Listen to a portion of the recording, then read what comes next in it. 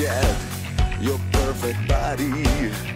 Where did you get such perfect skin? How come you're such a perfect hottie? Not a wrinkle, no double chin.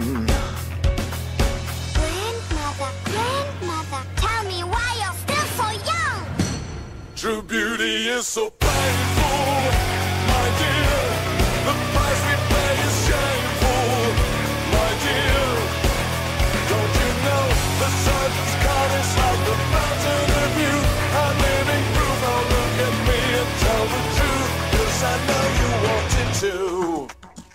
What's your secret for staying youthful? What's your secret for staying thin? Won't you tell me and please be truthful? Does true beauty come from within? Grandmother, grandmother, tell me why you're still so young.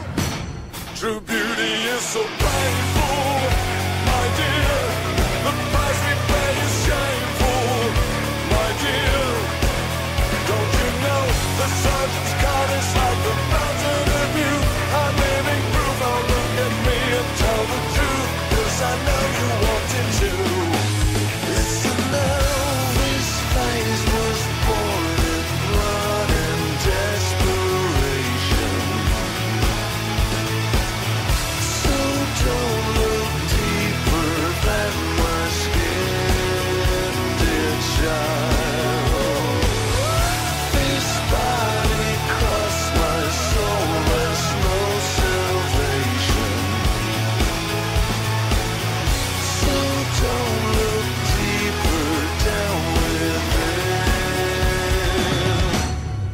beauty is so painful.